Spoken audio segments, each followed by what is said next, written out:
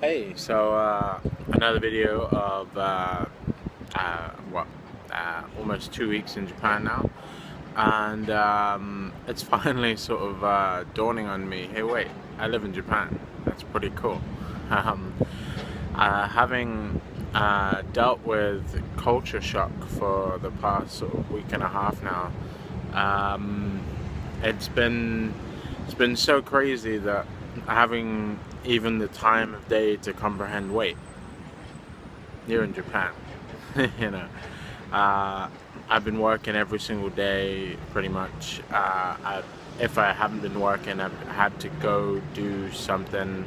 Uh, I know I said I would make a video about uh, all the things you have to kind of do and stuff which I might include in this video depends how much time I have.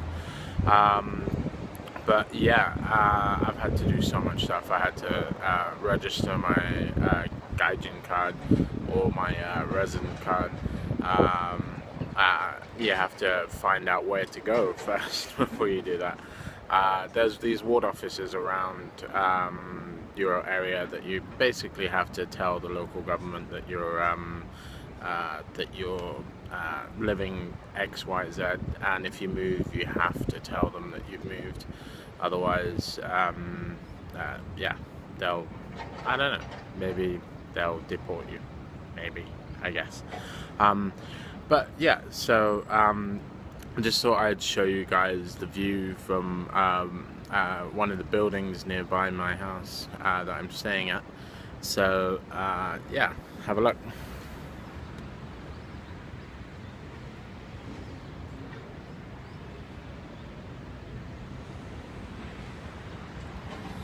So that's uh, Osaka Ko, um, or the port, the Osaka port. Um, I think the port, uh, Japanese word for port is uh, Tempozan. Uh, so um, I'm getting some Japanese, I guess. Um, but yeah, it's uh, it's really kind of cool. Um, I'm really sort of uh, starting to accept, hey, wait, you know, this this isn't so bad, you know, this is uh, you chose to do this for a reason, and and this this is why you chose to do this because you get to do really cool stuff. Um, you know, even though it's a real challenge, it's really challenging. Uh, many of the people that come to Japan uh, find it uh, really challenging and they thought, well, you know, it's going to be a breeze, I'll go out there. I've learned some Japanese. Um, and then you realize that every single word in Japanese that you learn from America or from the US or uh, the UK or from wherever you came from is either irrelevant or uh, you don't use it in a regular context. Um, for some strange reason, they don't teach you really important words in, um, in the textbooks or in, in YouTube or anything. A couple of important ones to know is uh, honto, that means really. Um, uh, daijoubu, uh, or daijoubu desu ka, is, uh, is that okay? Are you okay? Or uh, you can just say daijoubu to let them know, or daijoubu desu to let them know, yes, you are okay. Um, uh, some textbooks will have this one, uh, kore wa nan desu ka? Kore wa nan desu ka? Um, and, uh, but what they don't tell you is, uh? Nihongo de. Nihongo de. The most important one is the uh, Nihongo de.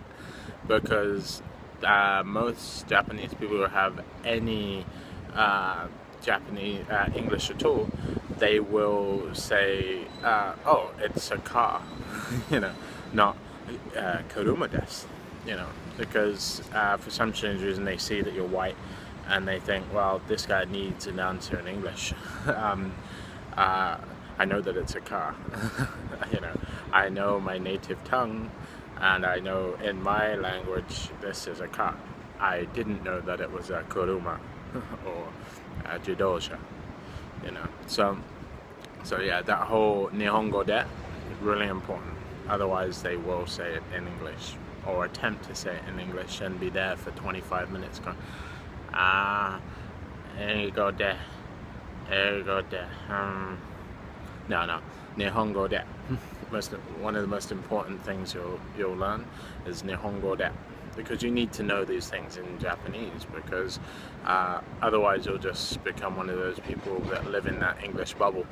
Um, and yeah and people will tell you stuff in English and you'll uh, be the gaijin that expects to have answers in English um, uh, another important word might be uh, ikura desu ka? Ikura desu ka? It's not a word, it's a phrase, but ikura desu is uh, how much does it cost? You know, which is probably in a lot of stuff. Um, uh, but then again, most people, uh, most books don't really tell you um, about the response. Uh, so you'll get um, uh, a whole bunch of responses uh, that uh, that involve uh, either janai, janai or kunai. Seems to be the negation of stuff. Like I think it means not, or um, you don't have to pay, or or we don't have this, and that's an important one. Ga arimasu ka? Ga arimasu ka is do you have? So you would say jitensha ga arimasu ka? meaning do you have bikes or um, uh, you might say um, uh, they might say in return to you uh, arimasen arimasen or uh, jitensha kunai or jitensha um, uh, jinai or something um, uh, they may or may not say that but usually anything that's uh, kunai junai um, I've noticed seems to be some kind of negation of something so uh, not cheese. Chizu desu ka? Uh, chizu denai. You know, seems to be some kind of negation. Um, not cheese. Um, yeah, uh, maybe I'll make another update video and uh, and make a way better one than this because this uh, this is just my immediate um, uh, reaction to some of these things. Um, uh, I may find that there's a way better way of saying these. And in fact, you know, um, I've seen some people say there's better ways of saying this, but uh, these are the ones I know right now, so these are the ones I can teach you. Um, but yeah, um, uh, living in Japan for two weeks now has been pretty fun. Um, it's been crazy. Um, but when you have off times like now I've had my this is probably really my first uh, genuine off time you know um, I have literally nothing to do today which is pretty cool other than waiting on uh, Amazon package um, which I'm not looking forward to because uh, the guy is going to call me in Japanese and I'm going to say eigo ga hanashimasu ka eigo ga hanashimasu ka which is uh, do you speak English? And he's probably going to say eigo janai and I'm going to go ah um, come to my house please with the package. Um, but uh, yeah. So no that should be fun. But uh, but yeah generally today is my first day off and um, I'm loving it. Yeah I really am loving it. Um, having come up here to see to take time out and say look wow you know even though the bullshit that I'm dealing with with my work you know um, you know, it's not really bullshit, but they, you know, they just want a lot from you. I mean, um, I mean, I work for uh, an eikaiwa, uh, a private one, and um, you know, I'm not an ALT or anything like that, which I hear they have their own issues as well. But um, yeah, I mean, uh, I mean, I like the eikaiwa that I work for. It's uh, it's pretty cool, but you know, they they want me to jump through all kinds of hoops, go here, there, everywhere, you know. Um, so, but you know, it's all part of the fun and the challenge, I guess. And nobody speaks English at my eikaiwa as well either. So I either have to play charades, or um, or just say "daijobu," "daijobu." You know, I don't understand. You don't understand. Um, yeah, let's just leave it at that. so uh, yeah, it's been interesting. It's been real challenging. Um, but you know, if you ignore the fact that the language barrier is difficult, it's pretty fucking incredible place to be, man. It's, um, I mean, one more time, have a look at this.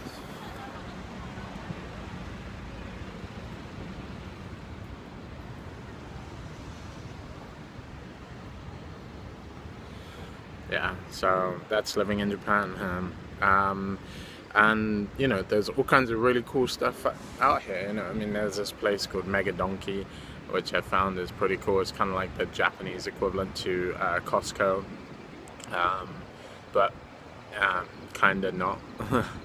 it's uh, really strange. But uh, but yeah, um, some things I thought I'd uh, tips I thought I'd say as well is um, uh, if you're thinking about coming to Japan, some things I would uh, uh, advise you is um, be prepared for a lot of legwork.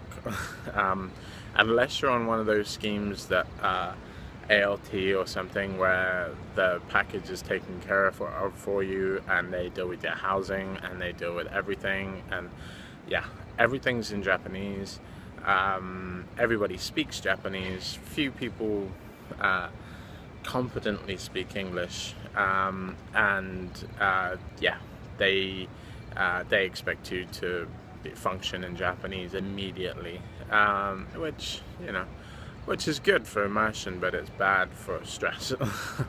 so, um, so yeah, I I kind of don't. Uh, I do like it, but I don't like it. It's kind of stressful.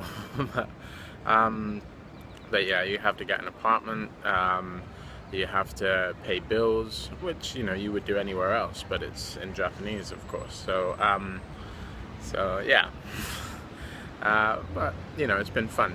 Um, uh, so so yeah I'm still yet to do some really cool Japanese stuff um, uh, you know it's uh, you know it's so difficult now just uh, doing life stuff you know.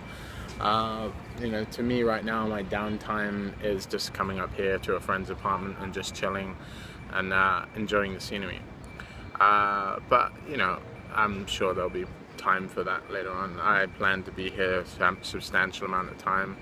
Um, oh, one thing that did happen to me that you really should um, uh, be aware of is uh, your bank uh, may flag you for fraud. if you see uh, that your bank account isn't working, um, if your bank sees that you're making transactions in America and, and then in Italy and then in uh, uh, Japan. I had a layover in uh, Italy. Um, uh, they will say eine Minuten bitte, what's going on here, you know, and uh, and yeah, they pretty much said, uh, are you in Italy, Japan, and America? I said, uh, I was, yeah. So that's me. So it's cool. Don't worry. So. Uh, so yeah, that's one thing you have to be careful of. Um, uh, yeah, so um, uh, any other tips? Um, oh yeah, uh, one, some things I've realized uh, if you like the soundtrack to Sonic and it was the soundtrack of your childhood and you want to make it the sign soundtrack of your adulthood, um, yeah, come to Japan because that kind of music is everywhere. You go in the store, the grocery store, you go in uh, uh, everywhere. Uh, you know, I, I, I, forget the Sonic tune, but yeah, pretty much that is that is the soundtrack to my life now. I'm I'm living the Sonic uh, uh Sonic the Hedgehog uh, soundtrack to my life, uh, which um, has its upsides and its downsides. You know, I like it, but you know, not everywhere I go. um, but yeah, you know, if that's one of the smallest, if that's if that's one of the things you have to put up with to enjoy living in Japan, hey, you know, having to listen to Sonic the Hedgehog 50 times a day is uh, is a small price to pay. um, but yeah, this video is getting long now. So uh, any other things I think you should uh, be aware of? Um, uh, yeah, have more Japanese before you come to Japan. Uh, so many people, including myself, come to Japan thinking, I have some Japanese, I'll be fine. No, you have no Japanese. uh, study Japanese for a year or go to school um, before coming here because, uh, yeah, immersion is gonna happen and it's crazy as hell. so, yeah, study that shit before you come here. Um, anything else? Um, uh, uh, what is it? Um, insurance. Insurance. Um, pretty much most people who work in Japan uh, for an extended period of time have uh, a, local government insurance. You have to go to the ward office to register. Make sure you bring your passport. They cannot process it without your passport. I went there with my Gaijin card and they said, hey, no, you didn't bring your passport. They sent uh, a letter in the mail saying you have to bring your passport. So, um, so yeah, if you're going to get some insurance from the local ward office, I recommend asking a friend to write it down for you because I spent 10 minutes going, Ika is, uh, uh, you know, and um, and they were like, "What is that? What the hell is this guy asking for?" so eventually, you know, they got what I was trying to say, and they said, "Hey, um, he's trying to ask for uh, health insurance." Um, uh, but yeah, it's a it's one thing you're gonna have to do. Um, uh, travel insurance is terrible. So uh, so even though you should have it, uh, it's not really something I recommend for an extended period of time. Your first year will probably cost around uh, 10,000 yen, um, which is about 100 bucks, which is cool.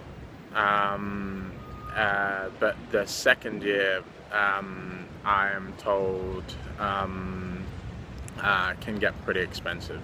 Uh, you know, uh, 200, 300 bucks uh, a month or a year. I forget. I don't know.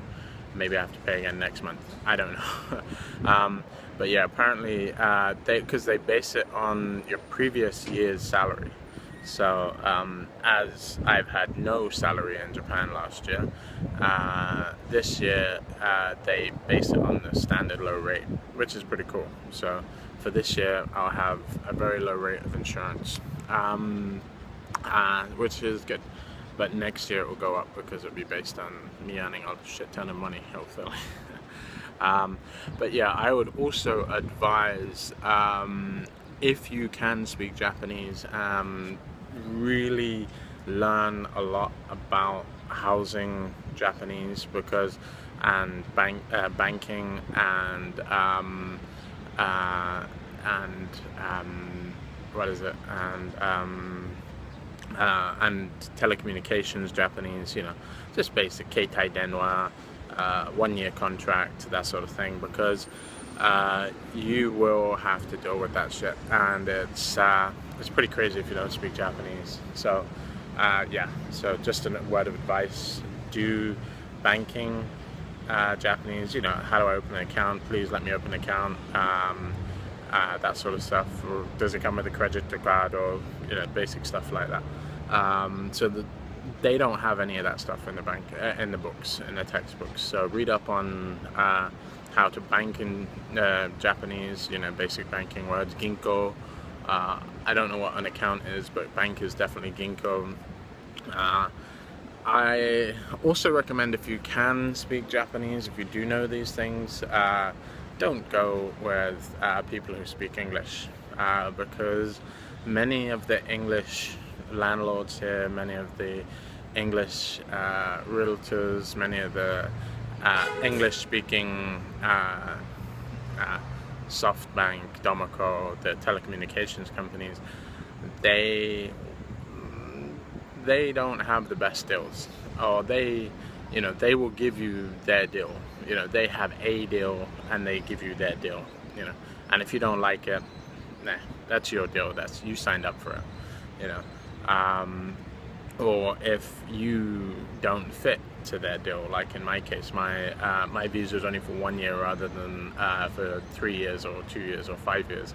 Um, if you don't fit to their uh, standard definition of uh, a gaijin, uh, they won't allow you to fit into their contract. You know, if you if you don't quite meet their criteria, you don't fit. So. Uh, you're gonna need to learn a lot of negation words, a lot of uh, you can't do this, you know. Um, so yeah, be prepared to be told you can't do this. um, uh, if you go into any real estate agents, um, be prepared to be told uh, we don't deal with foreigners. We only deal with people who speak fluent Japanese or we only deal with people who are Japanese. Uh, I've been told that many times. Um, but yeah, purely because I think you're going to get a better deal if you can speak Japanese and you purely go with the Japanese people. I mean, the deal that I have right now is pretty cool. My landlord is um, uh, is a cool guy. Uh, he's helping me out with a whole bunch of stuff, but I'm way out in the middle of nowhere, you know. Uh, so if you can, pretty much all of the downtown uh, apartments, unless you're going via a website, which I would advise against. If you can speak Japanese, go to a realtor. Uh, so get a hotel for a couple days, then go to a realtor. Um, uh, but yeah, um, yeah, definitely don't rely on English-speaking uh, landlords or um, uh, their English at SoftBank or telecommunications companies or banks because uh, one, their English is poor. Uh, their translation is at best okay, you know, and you may get confused. Um, but two, just because you can get way better deals if you can actually speak Japanese, and you can uh, you can actually ne ne uh, negotiate that whole realm of uh, Japanese speaking, um, uh, you know, uh, apartment apartment rental, you know, so or you know banks signing up for banks. So yeah, definitely uh, you know learn those words, banking stuff, learn banking words learn renting an apartment words, aparto. Um, uh, definitely, or oh, one thing that really is confusing is learn the terminology for apartments 1DK, uh, 1K, uh, 1DRK, and various other things, 2DK. You know, that uh, I don't actually know what they mean by the way, I'm just telling you some of those terminologies. I think it means one dining room and kitchen or two rooms and a kitchen or something. Learn that because um, you're going to need it. Um, I don't need to know that right now because I don't have enough Japanese to um, uh, to uh, to be able to do that. Uh, and also, I'm locked into a three-month contract now anyway, whether I like it or not. So, um, so yeah, in this three months, I'm going to try to learn more Japanese about those particular things, you know, banking. Um, that's because that's the most important things as well. Is in Japan as well, the order in which you do these things is imperative. You need to have a cell phone before you can have a bank. You need oh, you need to have a hanko before you can have a bank too. So a hanko, you can just walk into any craft store if you really have a shit ton of money, you can walk into any, um, you know, Konbini or, you know, most uh, small places will have them. Like uh, there's a place here called Kohnan which is like, uh, uh it's kind of like a Home Depot, but not. You know, it's kind of like Home Depot. Yeah, I guess it's like Home Depot. Um, um, and various other uh, home-related stores will uh, give you uh, hanko, well, say give you in exchange for money. Um, I paid about 30 bucks for mine, 35 bucks, uh, which is a little on the expensive side because I went to a specific arts and crafts place. Um, yeah, don't do that. uh, so don't do all the stuff I've done. So pretty much, I'm doing all these things wrong so that you don't have to. um, and it's costing me a fortune. So yeah so learn these things. Uh, but yeah learn the biggest things I would say is learn about phones learn about um, uh, uh, banking and learn about um, banking phones and uh, uh, getting a hanko um, and what was the other one? Telecommunications uh, banking, telecommunications, and apartments. That's that's pretty much the three things you're going to need to know when coming to Japan. If you don't know those things, it's going to be a shit ton of hard work on your part. Uh, so yeah, and you're going to be stressing like I was. um, so yeah, that's been every day of my life for the past uh, two weeks now, almost two weeks. So uh, learn those. Um, which in the next three months now I've got this time so that I can learn those. Um, but yeah most important things is Hanko you need to have a Hanko before you get a bank. You need to have a Keitai Denwa before you have a bank. Um, because they will and they will call you. They oh my god they will call your cell phone to make sure it's ringing in front of them. Serious. They will call it and they will come to your apartment if they believe that you don't live there. So they come to your apartment. I had the manager of the bank come to my apartment and knock on my door personally and say, oh, you do live here. Strange. I, I it was kind of creepy for me. It was like uh, way too much invasion, you know. Uh, so, yeah, uh, what are you gonna do? Uh, but yeah, so this video is getting way long now, but uh, yeah, so I'll, I'll make a condensed version of that pretty much tomorrow. But basically, you need to get a phone before you can have a bank. You need to have a bank before you can have a phone. So that's kind of a, um, yeah, what are you going to do about that? I, I, I had to jump through so many hoops. I'll make another video about that later and tell you guys. Um, but yeah, so you need to have a phone. Uh, before you have a bank, you need to have a bank before you have a phone, but you need to have a Hanko before you can get all three of them and you need to have insurance. So if you don't have insurance, uh, you probably can't do any of these things. Um, so yeah, and all of those things are predicated on the fact that you register your Gaijin card um, before you come, uh, before you do any of these things. You have 15 days, 14 days to register your Gaijin card. Otherwise, uh, I think they kick you out of the country. Maybe, I don't know. But when you move, when you go into any apartment, you have 14 days to update your new details. Otherwise, uh, problems. I don't know. Oh, that's another word you need to know as well. As uh, mondai nai, mondai nai, phrase, sorry, mondai nai is uh, no problem, or uh, mondai nai desu ka? Is uh, there's no problems, right? Or mondai nai desu ne? Is uh, there's no problems, right? Uh, so, which there will be problems, and they will say, uh, "No, mondai nai, no problem," you know. But there will be. Uh, so, uh, so yeah. So that's my tips for today. Um, it's a bit long. It's coming on 30 minutes now, so I'm going to cut off. But I'm going to show you this wonderful view one more time before I patch out. Okay. Catch you later, guys.